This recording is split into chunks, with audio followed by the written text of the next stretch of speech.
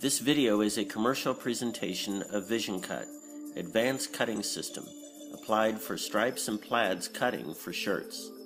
Let's see how it works. A line scan camera is placed on the feeding area of the cutter. While the material is fed on the conveyor, its surface is scanned for processing. The computer analyzes the scanned image in real time and repositions the parts to match the stripes and plaids on the fabric. Examples of such visual elements can be flowers, animals, logos, etc.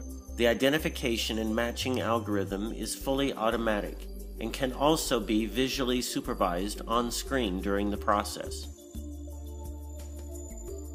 Compared with the previous generation of scanning and matching systems, which use a camera placed on the head, the speed of this system is increased dramatically because there is virtually no interruption in the process.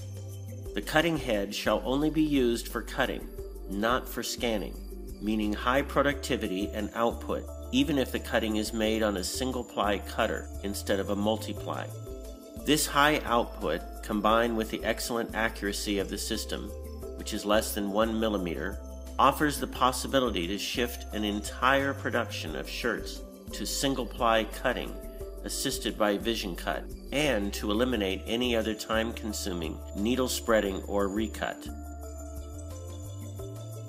The scanning device is machine independent.